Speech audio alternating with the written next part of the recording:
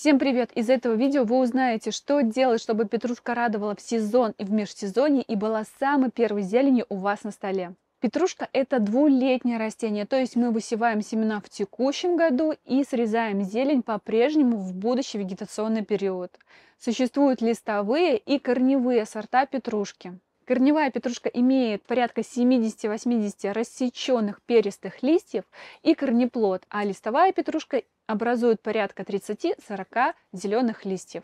Листовые сорта петрушки более холодоустойчивые, более ароматные, нежели корнеплоды петрушки. А вот листовая петрушка, у которой кучерявые или кудрявые листья, она дольше сохраняет тургор, она более сочная и она более устойчивая к пониженным температурам и к заморозкам. Самыми распространенными кучерявыми или кудрявыми петрушками являются, например, такие сорта, как Астра, Титан и всем известно Моус Краузе. Петрушка – это одна из немногочисленных зеленых культур, которая хорошо переносит зимовку.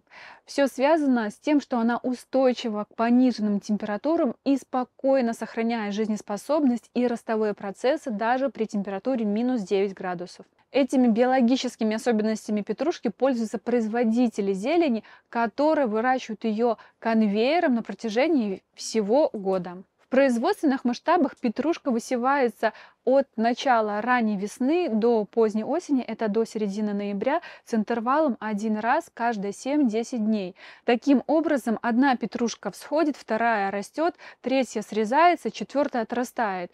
И цикл поступления зелени замыкается. Концу ноября месяца петрушка укрывается спанбондами, закрываются теплицы, в которых она растет, но поступление зелени не прекращается. Производители по-прежнему ее срезают и радуют нас свежей зеленью. Как же мы можем воспользоваться производственным опытом для выращивания петрушки в своих открытых условиях? Первое, что мы сделаем с петрушкой, это присыпем ее биогумусом или компостом. Таким образом, мы не только прикроем ее прикорневую часть и обеспечим комфортные условия для зимовки, но и также мы ее будем снабжать дополнительными элементами питания, которые очень важны для корней и для стеблей этого растения. Второе, что необходимо сделать по возможности с петрушкой, которую мы отправляем на зимовку, это срезать наземную часть. Ну, не всю наземную часть, а только загрубевшую, старую.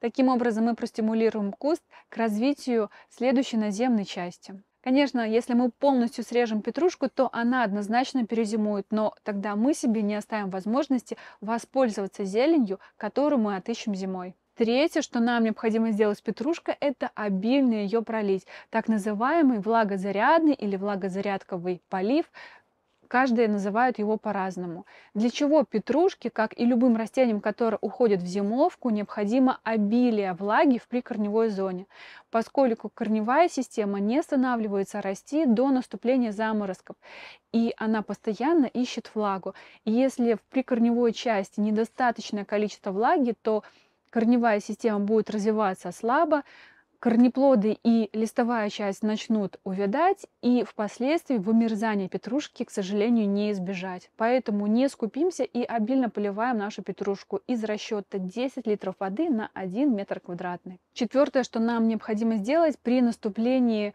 обильных и интенсивных заморозков, это укрыть нашу петрушку спанбондом. Таким образом мы обеспечим ее комфортными условиями для зимовки, и когда на спанбонд навалится большое количество снега, нам будет проще отыскивать петрушку, срезать имеющуюся подмерзшую зелень, и лучше делать по спанбонду, чем по э, тем зеленым частям, которые находятся просто под снегом.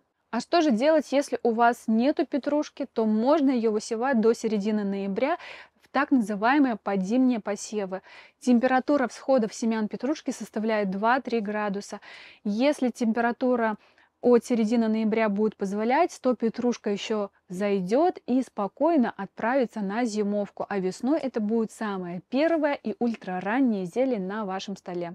При использовании этих нехитрых советов вы отправите петрушку на зимовку и при желании и необходимости обязательно найдете сочную зелень под снегом. Оставайтесь на канале про цветок и до новых встреч! Thank you